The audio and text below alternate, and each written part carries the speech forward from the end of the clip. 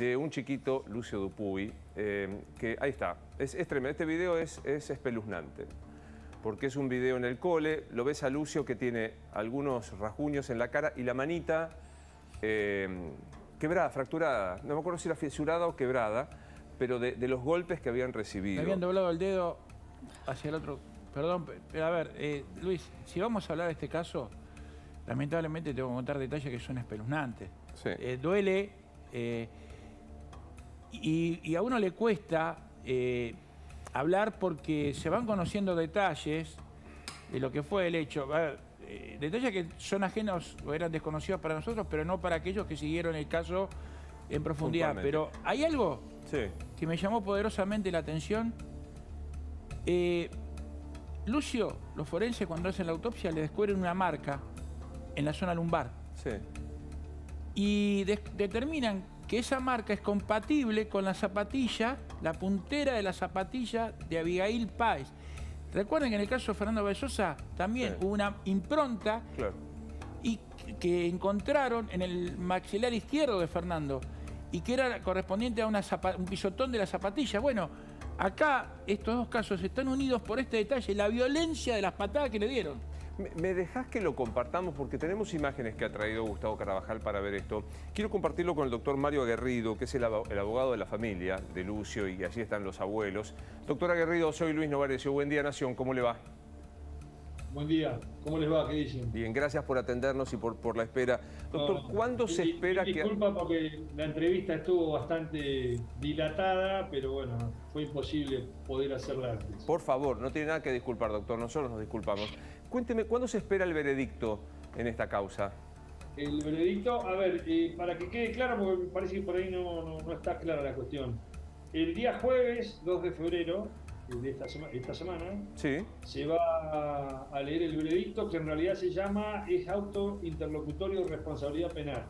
¿Qué significa? El jueves no, van, no vamos a escuchar puntualmente la ni el tiempo de prisión.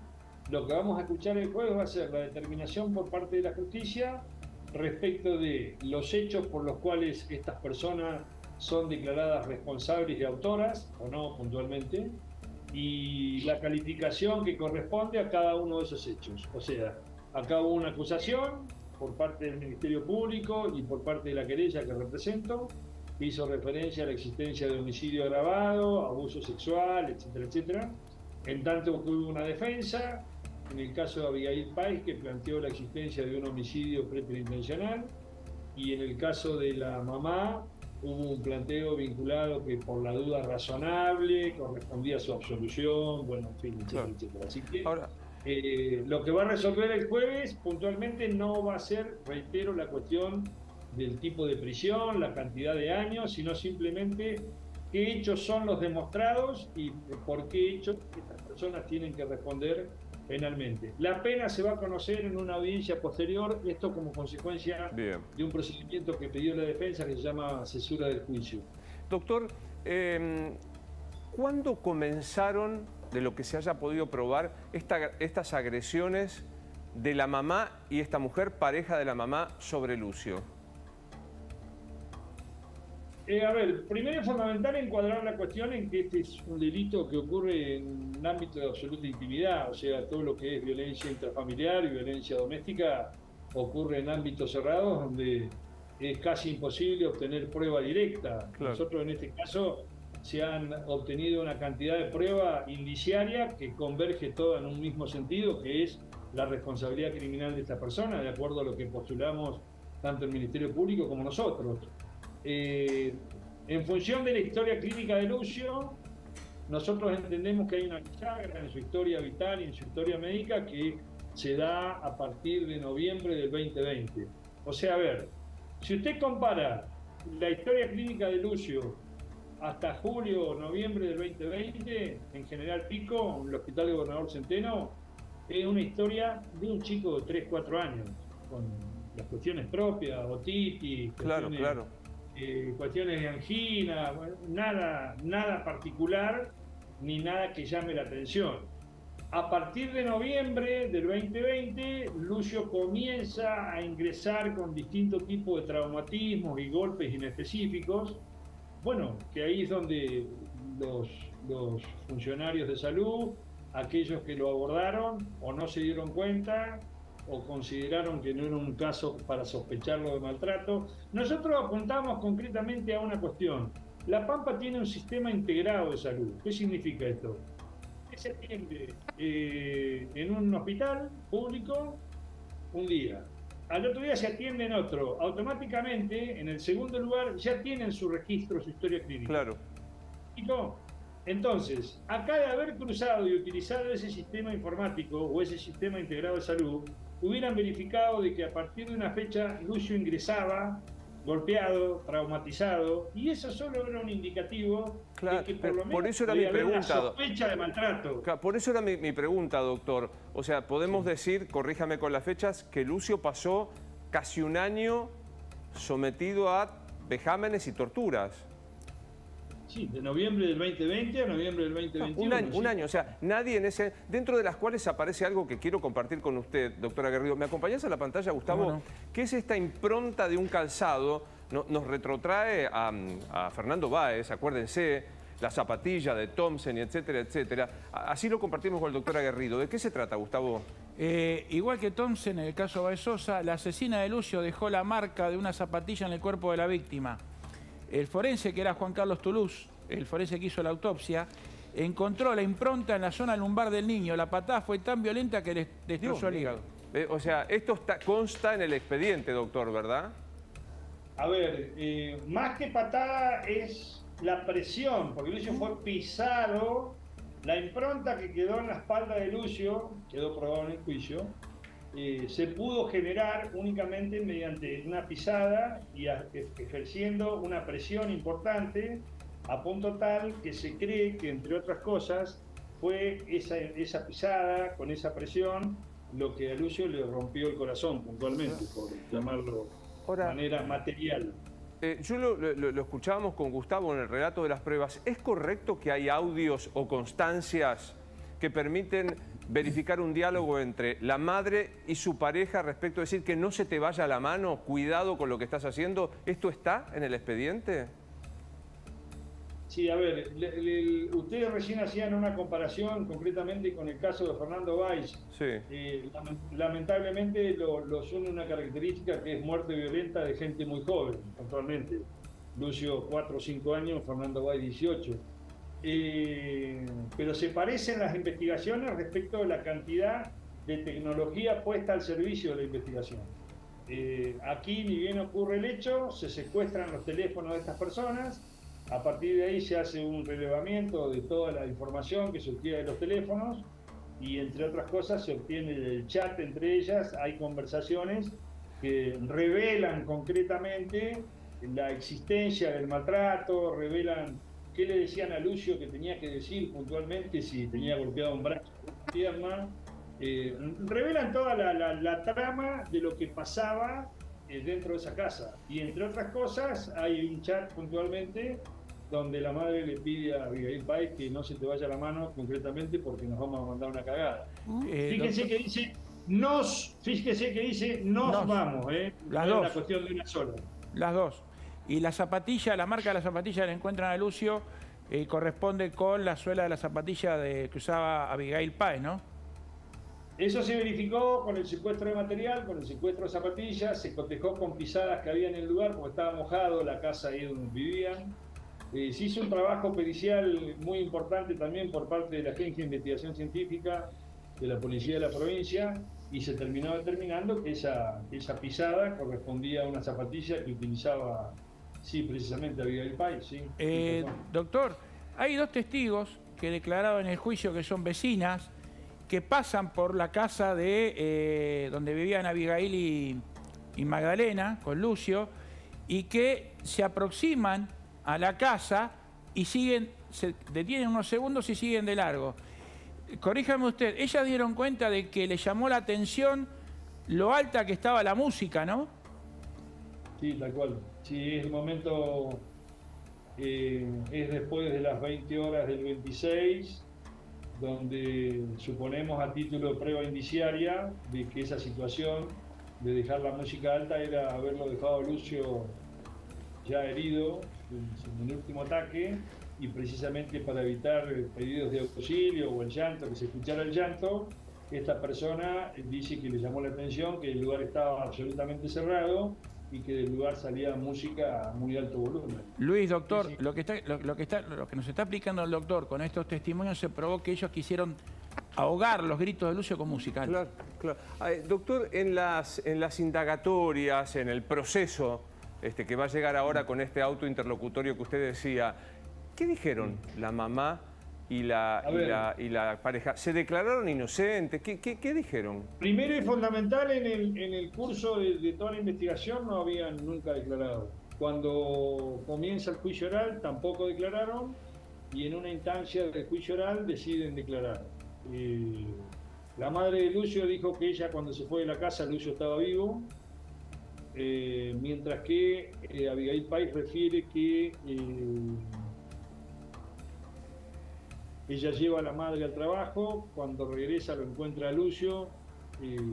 exactamente lo que dice Abigail Pais, dice, Lucio estaba haciendo un moco, me hizo enojar, le pegué un par de pataditas, y bueno, después cuenta el desarrollo, es ir a ver. Abigail Pais se acuerda perfectamente todo lo que hizo el 26 de noviembre del 2021, menos lo que pasó después que entró a la casa. Claro. ¿Está claro todo? Eh, ahí dice, le pegué un par de pataditas, se cayó, lo quise poner abajo de la ducha, se volvió a caer, estaba desesperada, pero nada precisiones de ningún tipo. O sea, no, eh, medio como que dice, eh, yo en realidad no lo quería matar. bueno, por eso es que la defensa ha postulado la cuestión del homicidio preterintencional, puntualmente. también en eso tiene alguna similitud con lo de Baisocio. se lo estoy preguntando porque, digo, creo que a todos nos recorre primero la impresión, el, asco, como no, de, esto. Decir, ¿qué, pasa por la cabeza de una madre y de una persona adulta para torturar de esta manera a un chico? Quiero sumarle a la doctora Paula Torres. Yo sé que ella es psicóloga infantil, pero pasó por la Facultad de Psicología y me quiero preguntar, doctora Torres, buen día, ¿cómo está usted? Soy Luis Novarecio. ¿Qué tal, Luis? Sí, licenciada. Eh, bueno, gracias por atendernos, este, licenciada que, así, mirado de esta manera, es una, persona, una personalidad perversa, sádica, que es una madre y una adulta que se ensañan de esta manera con una criatura? Bueno, cada, cada situación es diversa y habrá que evaluar en cada situación de qué se trata. Es el el maltrato infantil, eh, nosotros en el, hospital lo trabajamos como eh, síndrome de maltrato infantil. ABAR es un diagnóstico interdisciplinario y abarca situaciones muy heterogéneas, ¿no? Eh, a las que a un diagnóstico al que se arriba a partir de una sumatoria de indicadores que no se toman en cuenta cada uno por sí mismo, sino en su interrelación. Eh, que son desde indicadores físicos, lo que se constata por la evaluación médica, e, e indicadores eh, del relato, cuando se puede obtener un relato directo del niño o de algún cuidador o familiar que pueda estar registrando la situación, cuando se niegan esas situaciones, eh, de las inconsistencias en el relato de los adultos que no pueden ubicar la mecánica de una lesión en un niño, eh, las consultas reiteradas en el sistema de salud. Le estoy hablando de un montón de indicadores. A partir de esos indicadores se arriba una hipótesis diagnóstica interdisciplinaria, porque abarca aspectos tanto físicos, mentales, sociales, legales, todas áreas que existen en, los hospitales eh, de alta complejidad, existen todas esas eh, esos servicios y se, se interactúa en estas situaciones se trabaja conjuntamente y ante la sospecha de una situación de maltrato, lo primero que se hace desde el hospital cuando... Sí, perdón. No, no, eh, me interesa... No le contesté su pregunta. Sí, claro, me interesa mucho abordar cómo reaccionar frente a los síntomas o a los hechos que en Lucio se dejaron pasar, evidentemente, pero intentaba ir un poco más atrás y preguntarle concretamente, una mamá que golpea hasta la muerte a su hijo, un adulto que no se conmueve ante una criatura de 4 o 5 años, tiene una, estructura psíquica de qué características? Bueno, perdón, no estoy interiorizada en el caso de estas dos mujeres, no, no quiero hablar de algo que, desconozco, eh, pensé que iba a hablar de la cuestión de cómo se trabaja, cómo se aborda desde el sistema de salud, que es mi trabajo. Eh, Luis, eh, hay diversas situaciones. También hay que indagar eh, la, historia detrás de, estas, de, la, persona que, que, descuida de esa manera por acción, en este caso. Usted me está preguntando un caso del que yo no estoy interiorizada, pero digo, acá se trata de acción, porque en la definición de maltrato infantil es cuando se detecta una situación familiar donde por acción, omisión, negligencia, un niño se expone a una deprivación de derechos y de su bienestar. En muchas situaciones intervenimos ante la negligencia, no necesariamente la misma situación que usted me está preguntando, que es de una violencia explícita. Eh, la verdad es que no me animo a, arribar a un diagnóstico o a una generalización para todos los casos, pero bueno, sí, en muchos casos, posiciones perversas, psicópatas, digamos, donde no, donde no hay una empatía por el sufrimiento ajeno, sí, digamos, ante los casos más extremos y más graves, eh, en muchas ocasiones podemos estar eh, presentes ante, ante posiciones con estas características. Que bueno, que todo eso se trabaja, no es lo mismo que alguien se angustia, llora, reconoce eh, una situación de desborde, eh, siente culpa, que alguien que, eso no, no, eh, no se puede constatar. Licenciada, ¿Me? Sí, se, se le escucha perfecto. José Costa la saluda, licenciada, buen día. ¿Esto arranca así tan fuerte o es algo que va evolucionando? ¿Y cuáles son aquellas señales que el sistema de salud debería haber visto y no vio en un caso como el de Lucio? Eh, ¿Qué tal? Buenos días. Eh, bueno, sí, del sistema de salud y de las otras instituciones, puntualmente, digo, la institución escolar, las otras instituciones que puedan tener contacto con ese niño o niña. Eh, desde el sistema de salud, bueno, hay como una multiplicidad de indicadores que, como decía antes, se leen en su, se leen en, en red, digamos, en la contextualización. Uno es las consultas reiteradas al sistema de salud digamos, nosotros tenemos un registro de las consultas de cuando alguien llega eh, por guardia, de qué tipo de consulta se trata.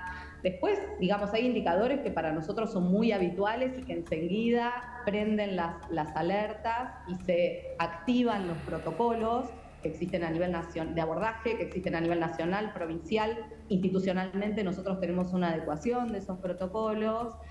Indicadores físicos, por ejemplo, eh, hematomas, eh, quebraduras con distinto tiempo de evolución. Cuando un, cuando un niño ingresa con una fractura, supongamos que se trata de una fractura, una lesión, donde no se puede establecer una mecánica clara de ocasionamiento, ¿no? donde aparece un relato confuso, incluso un, relato eh, discordante entre las personas que supuestamente están al cuidado de ese niño o niña y, se empiezan a contradecir, una actitud de no colaboración con el equipo de salud. Digo, estoy hablando de la llegada a la amnesis médica, interrogatorio. ¿Qué pasó, déjeme preguntarle, eh, licenciada, eh, déjeme preguntarle al doctor Aguerrido, que es el abogado de la querella, ¿hubo algún intento de eh, dar la tenencia como se decía antes, de Lucio a, otro familiar, en este caso del, mm, por la línea paterna?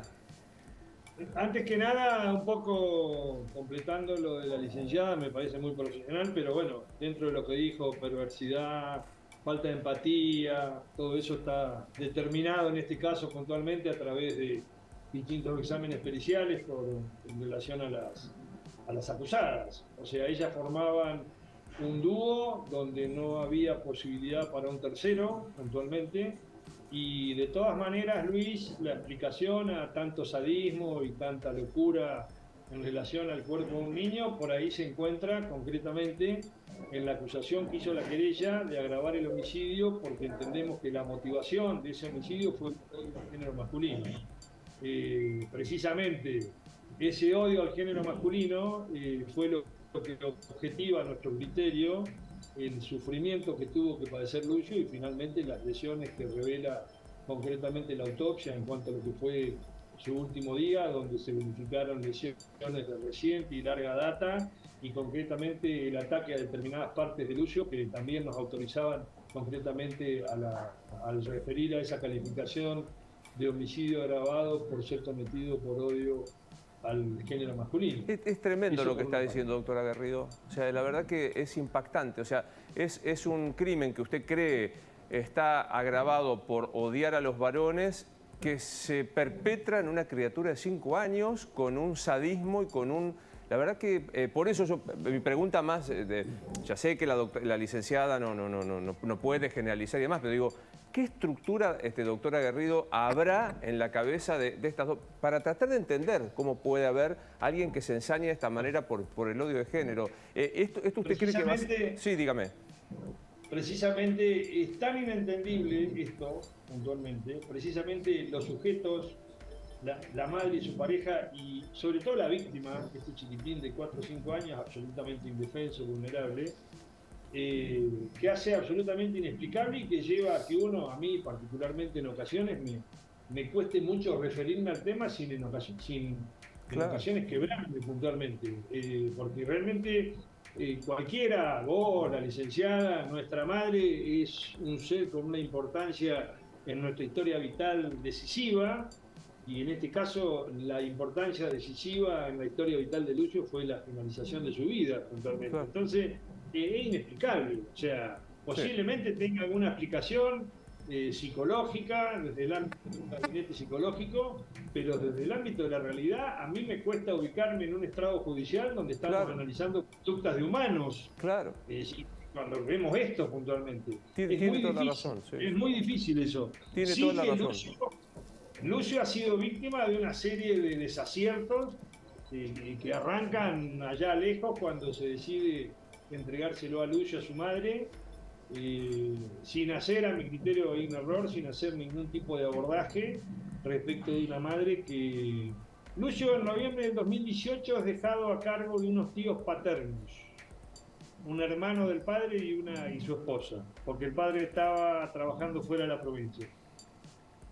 En julio del 19, Lucio vuelve con su madre, eh, y en noviembre del, perdón, en julio del 2020, Julio vuelve con su madre y en noviembre del 2020 se homologa un acuerdo que era esa vuelta con su madre, que en realidad se homologa en noviembre, pero en los hechos ya estaba desde julio, porque como consecuencia de la pandemia la madre se lo había llevado y después no lo había reintegrado más a General Pico.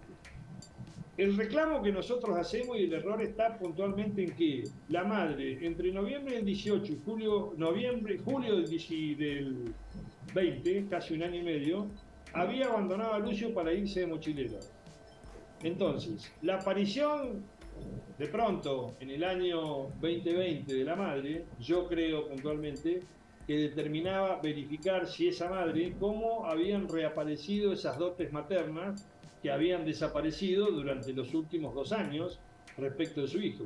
Yo creo que ahí hay una falla, ahí se tendrían que haber instrumentado abordajes respecto de la madre, se tendría que haber visto dónde iba la madre a vivir, con quién, en qué condiciones, si tenía trabajo, pero con un dato del expediente puntualmente, solo que, que la madre hacía terapia porque no podía asumir su rol materno. O sea, que si hubieran hecho un abordaje psicológico antes de otorgarle el cuidado personal, quizá esta situación de la dificultad en asumir el rol materno hubiera aparecido. O sea, no estamos reclamando justicia porque se nos ocurre. Acá hubo una serie de desaciertos y realmente nosotros la idea es ir por todo y por todos desde el ámbito de la responsabilidad criminal para algunos y la responsabilidad institucional para otros. La, estoy viendo, este, doctora Guerrido, la estoy viendo la licenciada Torres este, asentir ante lo que está diciendo. Claro. Sí, eh, porque pensaba, digo, la, la intervención más contundente que tenemos en el hospital ante una situación en la que se evalúa una situación de riesgo y que la situación de riesgo aumenta cuanto más temprana es la edad del niño o niña porque tiene menos posibilidades de defenderse. Eh, es la internación, la internación como medida de protección, como medida con la que se cuenta desde el sistema de salud asistencial ante la sospecha de una situación de maltrato y en muchas ocasiones cuando no se sabe, no se puede determinar o si se sospecha que el, maltratador es quien está al cuidado, al cuidado de ese niño o niña, eh, se queda internado. Pero a partir de ahí se, activan una serie de resortes institucionales. El primero es la denuncia a la comisaría, nosotros trabajamos con la comisaría quinta acá en el Hospital de Niños de La Plata, y, dar intervención a los organismos de niñez, por eso asentía, porque desde los organismos de niñez y adolescencia, que son quienes eh, a nivel territorial se ocupan de garantizar los derechos de niños, niñas y adolescentes, eh, trabajamos nosotros codo a codo con los organismos de niñez, que son quienes empiezan a evaluar a nivel local, a entrevistar, hacen una visita a la casa, empiezan a entrevistar, hablan con los vecinos, con la tía, con referentes significativos, como empezar a detectar, bueno, si hay una red posible de armado de adultos cercanos a ese niño, digo, antes de pensar en la institucionalización de, un niño o niña, mm. se empieza a trabajar con lo que hay, con una tía, un tío, una vecina. ¿Quién se puede eh, erigir en adulto responsable cuidado y protección. Por eso sí, evidentemente han fallado muchas instancias eh, de intervención. Evidentemente. Licenciada Torres, gracias eh, por atendernos. No, de nada. Tal vez que siga bien. Me imagino, doctora Garrido, que si no es el caso más choqueante, debe estar muy cerca eh, su, actuación profesional en, en, el caso Lucio Dupuy, ¿no? Sí, sí, sí. O sea, yo tengo 40 años en ejercicio de la profesión, pero un caso con estos actores, eh, con estos, con estas acusadas, con, con el vínculo biológico, pero fundamentalmente con una víctima y, con la historia de, esta víctima, sí, no, impactante. Sí, aparte uno es padre, eh, uno es hijo también, eh, es muy difícil la visión de este tema es, muy, muy difícil. Solamente duele la, la, cuestión de un Estado ausente, sinceramente, porque me parece que es un hecho puntual el de Lucio que se podría haber evitado, sin dudas, sin duda. Pero bueno, esto puede ser una, puede no, debería ser una bisagra precisamente para la protección de las infancias y para lo que es detección temprana de, la violencia familiar, de la violencia doméstica. Posiblemente tengamos algún que otro lucio. El tema es que se reduzca de manera sustancial la cantidad de lucios que hoy podemos tener en la sociedad argentina. Última pregunta, doctora Garrido. ¿Para usted hay, hay pruebas suficientes para saber quién fue de las dos mujeres la, autora material del golpe que terminó con la vida de Lucio? Nosotros creemos con la acusación pública eh, que al momento de la golpiza final estaban ambas. Obviamente la, intervención de ambas puntualmente no la tenemos definida, pero sí que estaban ambas, o bien lo atacaban las dos, lo que me permito afirmar en función de la cantidad de heridas que tenía Lucio y la, y la calidad de las heridas. Lucio tenía eh, lesiones a nivel de órganos internos que iban pulmones, colon, intestino grueso, corazón, en fin, estaba destrozado eh, y si no eran las dos, era una con la anuencia de la otra, que no hacía nada por evitar eh, precisamente lo que el chiquitín no podía hacer, que era defenderse puntualmente. Así que eh, nosotros entendemos que a nivel de autoría material corresponde la responsabilidad de ambas. Bueno, después estamos a la espera concreta de, esta resolución que se va a leer el, jueves. Voy a hacer una aclaración, sí. porque se ha generado todo un tema vinculado con, la mediatización de este caso sobre su, la incidencia que podría tener, igual que el tema de Baisosa se, se asimilan bastante, la incidencia que podrían tener concretamente en las personas que tienen que resolver desde lo judicial. A ver, eh, puede existir una condena mediática, puede existir una condena social, sin dudas.